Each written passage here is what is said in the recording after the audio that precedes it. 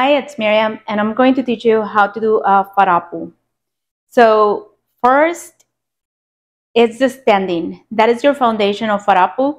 So you want to make sure that you choose how to stand. There's two schools of Tahitian. There's the ancient form where your toes are slightly out, which is how I teach it and how I'm going to teach it today. But you choose your your own way, like whatever works best for you. The other school of Tahitian is to have your toes completely straight forward. Okay, just like this. So my are just slightly out, slightly, not super open, right? And I'm going to tell you why is the reason behind this, right? Um, I am a yoga instructor. I am a hula dancer. I'm a Tahitian dancer. So due to the form of our bone structure as females, you know, your hips are are wider when it comes the bone here of your legs, right? And as it goes down into your knees, it doesn't go straight on a man, on a man male bone structure, their hip, their bones here from the hip, they go straight, the, the legs. But ours as female, they go in slightly, right? Like a V. So what this means is that as your bones go down, your knees will crash at some point, right? So there will be a lot more rubbing here, a lot more rubbing of your knees, a lot more rubbing of your thighs. So I teach openly like this due to the anatomy of our body and because once we bend a little bit, you create a little bit of space here in between the thighs. That is my way of teaching. So again, you can take the rest of the video and still do this if you prefer, right? Like your feet straight forward. So that will be your standing. The body weight, it's going to be towards your heels. So we're not leaning forward, right? I'm over exaggerating, but we're not leaning forward into the toes. We are back into the heels, right? And then we're going to bend our knees just enough. Again, there are some schools of Tahitian that will teach you to go way lower. I personally do not teach to go super low for a fa'arapu because then you will wobble a lot more and you will lose that stability and movement. A fa'arapu really, it's a small hip circle, right? It's not a wide hip circle. If you try to make it too wide, you're going to bounce a lot and you're going to sacrifice speed. Meaning, if you go wide and you try to do it faster and you're bending a lot, this is how your fa'arapu is going to look. Because anatomically, even if you're trying to hold it and your abs are strong, your body, as you widen that circle, needs to go through all the surfaces of your feet, through the side, to the front, to the other side, to the back. And you're only like this little stick in the middle while your hips circle all around. So that will naturally create that instability of moving your whole body like this. So that's why Fa'arapu needs to remain as a small circle but it still needs to be a circle. Because a lot of people end up shaking it or end up uh, doing uh, mostly focusing on the upper back muscles, like lifting the butt, and they don't bring their body forward to engage their core. And those are big mistakes. That's when you end up, again, kind of like twerking or moving a lot, bouncing a lot, you lose control. So it needs to engage the core. Okay? It needs to come forward, forward, forward. So, with that said, let's get into it. You're going to be using front of your core. You're going to be using side of your core and you're going to be using back of your core, right? The, the rope muscles here. So you have your foundation of your feet, your knees are slightly bent, now, some tips. Do not overly lift your rib cage. Do not. Don't try to go like this. Overarching your spine will arch your spine so much that again, once you're trying to go fast, it's going to create that upper motion of jerking, right? If you lift your ribs too much.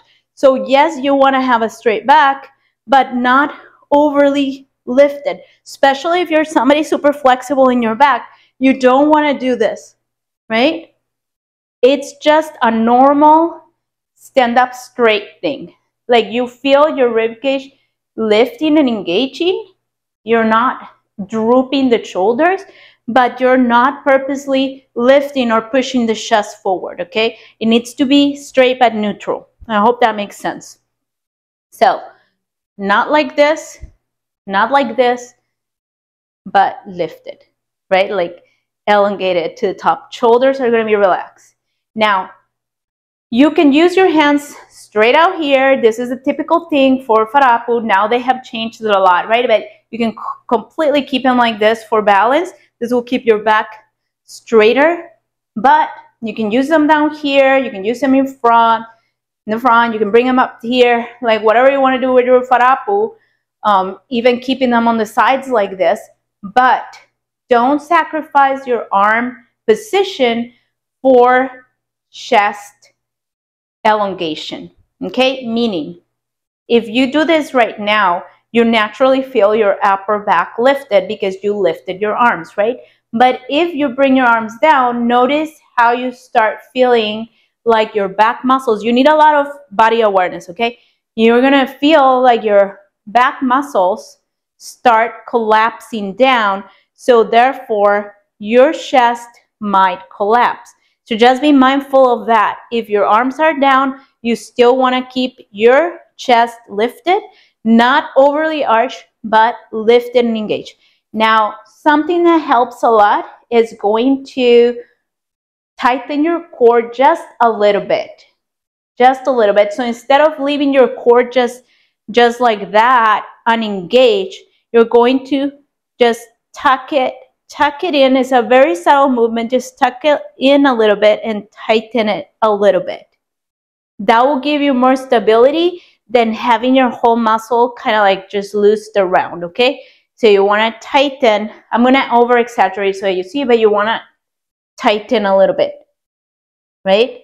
This is, I'm tightening a lot right now, like it feels uncomfortable. So you don't want to do that, but you also don't want to leave all the muscle like unengaged. So gentle, gentle tuck, gentle engagement, okay?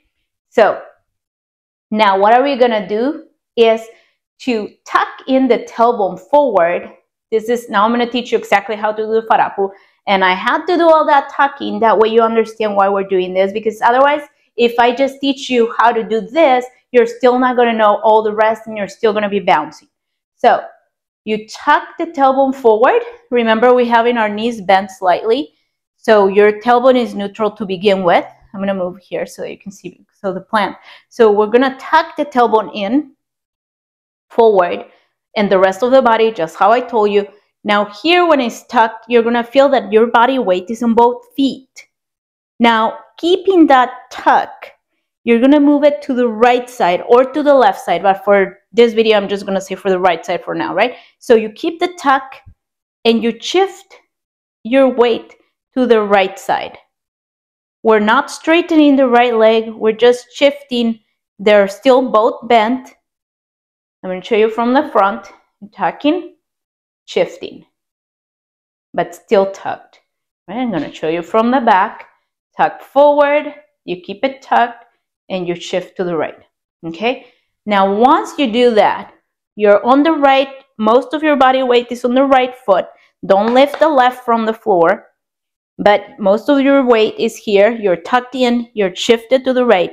Now, keeping your body weight on the right side and the same body position, you're gonna lift up your tailbone on that right side, towards that right side. Lift up. And so you're engaging. I don't want you to purposely go like that. It's just the hip bone, okay? Just the hip bone. Don't arch your upper body. The upper body remains neutral, how I explained at the beginning. So you lift and you're still on the right side. Again, I'm going to show from here and I'm going to show from the back. That's it, right? You lift. Now that you lifted, you're keeping that body lifted, that hip bone. You should feel your right here working. And you're going to shift your weight to the left side, but still with your hip lifted. This leg is not completely stretching. It's straightening more than the right side because we shifted the weight, but not straightening. They're always remaining bent. And now, just like that, on that left side, you're gonna tuck it in, in that, in that left side, tuck it into the front, tuck. Now you remain, I'm gonna turn to the other side so that you can see, but let's just stay here. So for now, so you have it tucked, you're on that left foot, you're engaging the front core of your muscles without compromising the upper body. This requires practice and consistency. You're not gonna move the upper body only the low body, right? So we're doing isolation here. Now transfer the weight, but keep it tucked. Lift the tailbone, keeping it on the right side. Keep the tailbone lifted, move to the left and front. So it's like we're doing almost an afata, right? A square. Now you have to smooth out instead of doing it so boxy, you know, like front, tuck, lift, lift, tuck, tuck, lift, lift. Instead of making it boxy, we're going to soften the edges by moving softer, right? So here's where it comes. If you're doing a very wide movement like this, it is called a tumami or an ami.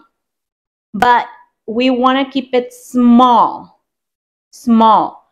So we're not widening the hips is almost in place here, right? Like think of your hips. They can move like this, right? Like a cauldron, or they can move like this.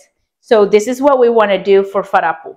It's just in its axis, right here in its axis, right? And you just smooth that out. So coming closer so that you see. We're going to tuck in tailbone you keep your, your upper body neutral. Now we move to the right. Now you lift your butt. Keeping it lifted. We're not arching the upper body. Shift to the left. Good. Tuck. Hold the tuck. Your, your abs should be burning, okay? If they're not burning, you're not doing it right. you should be engaging them. So you're keeping them engaged. Tuck. Move to the right. Release that tuck. We're lifting into the right side, now into the left side. It's showing you from the side as well here close, closer. So we're bending the knees, tuck in, shift your weight to the right, lift the tailbone, move to your left, you're still lifting the tailbone, but not moving upper body, tuck in into the left side, shift to the right. Again, lift shift, tuck, shift, lift, shift, tuck, lift. And now you smooth that out. You smooth that out, see? You smooth it, smooth those corners into a circle. And if you notice, my upper body is not arching and doing this, right? It's only the lower body, lower body yeah, look at my rib cage. It's not moving. So you just speed up faster and faster and faster as you go. And of course, you know, your, your body is going to bounce a little. That's normally, that's normal. Your bones are attached. You have to bounce. Um, some people have asked me, if I don't have a butt, can I do that? If you have a hip bone, you can't do it. if you have a hip bone and two legs, even with one leg, you could do it. Okay, so it has nothing to do if you have a large butt or not. It might look when you're looking, you think that it's because they have, you know, a lot of a big butt, but it's not really. You can do it with a flat butt. You, um, I also have questions if I'm older, can I do it? If I'm bigger, can I do it? Anybody can do it. You have muscles, you have bones, you can do it. Okay, so that is basically how you do it. I gave you the tip of, you know, not overarching the back. Um, I'm going to give you another tip.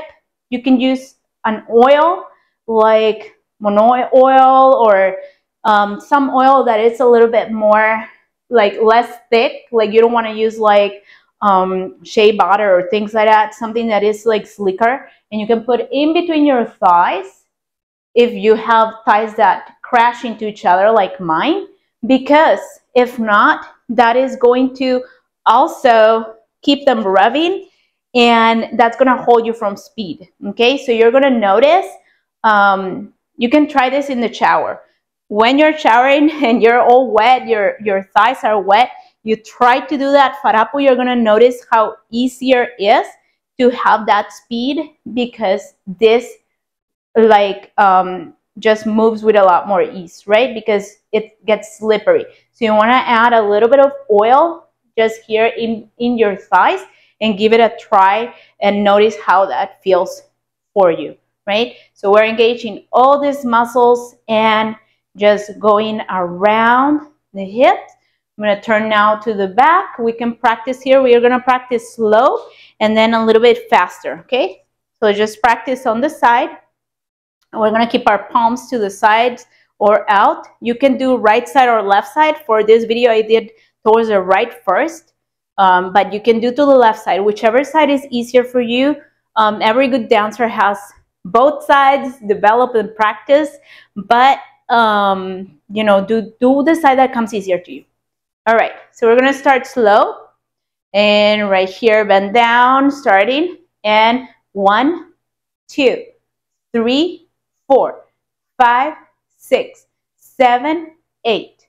Good. Now, that make sure that your focus is on tucking that tailbone in. Your abs should feel the work, not your back. You're still lifting your tailbone, but don't make the focus the back because remember, you're going to be bouncing a lot. So let me turn this way and we are going to do eight to the back as well. You can keep your palms here or on the sides. Five, six, seven, eight. One, two, three, four, five, six, seven, eight. I'm going to come a little bit closer as well. Let's practice again. Palms out. You know your feet position. Five, six, seven, eight. One, two, three, four, five, six, seven, eight. Good. Turn into the back. Five, six, seven, eight. One, two, three, four, five, six, seven, eight. Good. Now I'm going to speed up. And because we're speeding up, I'm going to do 16 or two counts of eight, right? Five, six, if you cannot do it as fast, that's okay. You go at your own pace. Five, six, seven, eight. One, two, three, four, five, six, seven, eight. One, two, three, four, five, six, seven, eight. Turn back. Five, six, seven, eight. One, two, three, four, five, six, seven, eight. Two, three, four, five, six, seven, eight. All right, it's hard to move and count. All right, let's do it a little bit closer here. Palms down, straight back. Position. Five, six, seven, eight. One, two, three, four, five, six, seven, eight. One, two, three, four, five, six, seven, eight. Turn to, to the back. Five, six, seven, eight. One, two, three, four, five, six, seven, eight. One, two, three, four, five, seven, eight. All right. And that's it, guys. Thank you so much for watching. Remember, I have classes on Patreon. I also teach belly dance on this channel, as well as in Patreon. And I also teach Hawaiian dance. So I'll see you guys on the next video. If you have any questions or requests, please let me know. And I'll see you in the next video. Bye.